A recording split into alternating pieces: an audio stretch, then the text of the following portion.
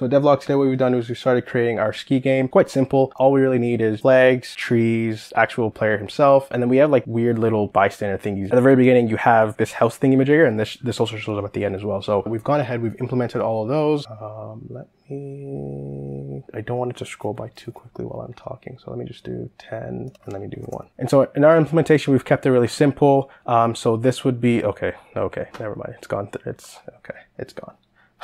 And so we kept it quite simple. This would be that house thingamajig at the very beginning. This would be the house thingamajig denoting the finish line at the end. That over there is the bystander. This just represents the tree. This is the player. And then these are the flags here. Very quick and dirty way of depicting everything that we need in, in our game. We've gone ahead and we've kind of started playing around with the physics a little bit, at least implemented acceleration down the hill. One thing we're going to have to do is we're going to have to also start messing around with other physics related to when the ski is actually making turns and banking around. That's that.